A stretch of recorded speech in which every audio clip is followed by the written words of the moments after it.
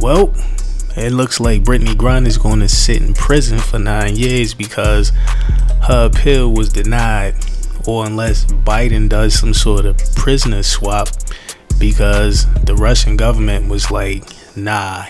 But her team of attorneys was like, the punishment doesn't fit the crime. And Russian government was like, I don't care about what you talking about over there because this is our country, this ain't America, so you're gonna have to sit in jail. She gotta sit in a Russian jail for nine years. That's a long time. It's a long time in America, but you in a foreign country. Phew. Man, I feel bad for her. But I guess weed was more important than, you know, abiding by their rules.